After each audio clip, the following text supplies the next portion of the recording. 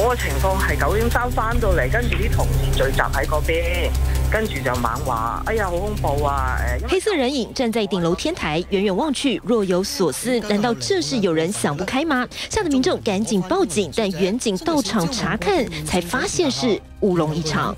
警察話翻俾我哋聽，原來係藝術片。咁但係我哋就覺得好過分咯，因為即係嗰個嗰個感受同埋嗰個恐慌都幾嚴重咯。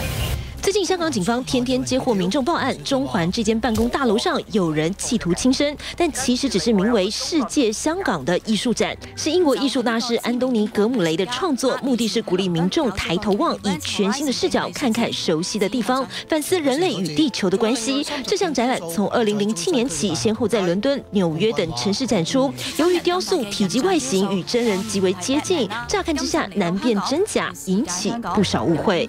因为你远睇。嘅話，你見到無啦啦有個人喺上面，即係你睇唔清楚噶嘛，咁所以一定會有呢個恐慌喺度。個高度亦都望上去都唔會睇得好清楚，係咪有啲都感受唔到咩藝術？其实不止中环这栋大楼，总计有三十一件人像雕塑会出现在香港街头。尽管大楼上人影幢幢，主办方没有移走或更改地点的打算，将按计划展出到明年五月，但强调会与警消紧密联系，避免民众再度恐慌。记者综合报道。